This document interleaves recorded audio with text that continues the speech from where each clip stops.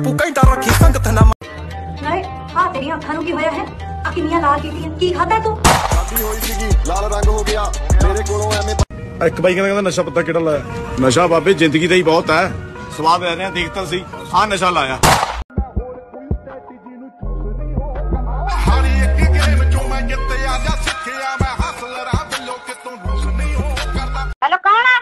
ਬੀਬੀਆਂ ਦਾ ਟੋਲਾ ਵਿੱਚ ਬੈਠਾ ਸੁਲਤਾਨ। ਮੈਗਜ਼ੀਨਾਂ ਫੋਲਿਆ ਤੇ ਖੂਨ ਚ ਤੂਫਾਨ ਵਾਲਾ ਨਹੀਂ ਚੋਲ ਮੋਲ ਕਰਦੇ ਨਾਲੇ ਖਰਚੇ ਵੀ ਲੱਖ ਦੀ ਕਰਕੇ ਸ਼ਾਪਿੰਗ ਇੱਕ ਮਿੰਟ ਨਾ ਸੋਚਾਂ। ਨੀ ਇੰਨੇ ਦੇ ਤਾਂ ਟਾਇਰ ਪਵਾ ਕੇ ਅਗਲੇ ਦਿਨ ਬਦਲਾਈਏ। ਉਹ ਘਰੇ ਖੜੀ ਐ ਰੇਂਜ ਨੀ ਗੇੜੀ ਨੀ ਦੋ ਵਿੱਚ ਕੋਠੀ ਖਾਂਦਾ ਮੋਤੀ ਯਾਰ ਨੇ ਪੱਕੇ ਅਸੀਂ ਨਹੀਂ ਰੱਖੇ ਨੀ ਚਮਚੇ ਥਾਲੀਆਂ ਨੀ।